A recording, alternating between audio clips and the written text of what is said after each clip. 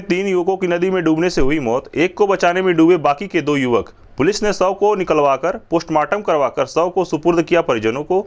SP north Jitendra Srivastava ने दी जानकारी। जिला कारागार गोरखपुर में क्षय रोग के प्रति जागरूकता शिविर का किया गया आयोजन। बयालीस बंदियों का डिजिटल एक्सरे व चौदह बंदियों का करवाया गया स्पुटम टेस्ट। शासन के निर्देश पर मंडल में एक मार्च से शुरू कर दी गई है गेहूँ की खरीदारी। संभागीय खाद्य नियंत्रक अनुज मलिक ने दी जानकारी। आगामी लोकसभा चुनाव को संपन्न कराने के लिए सभी थानाध्यक्षों व अधिकारियों को दिया गया है निर्देश। आपराधिक तत्वों पर रहेगी नज़र। एसएसपी डॉक्टर गौरव ग्रोवर ने दी जानकारी।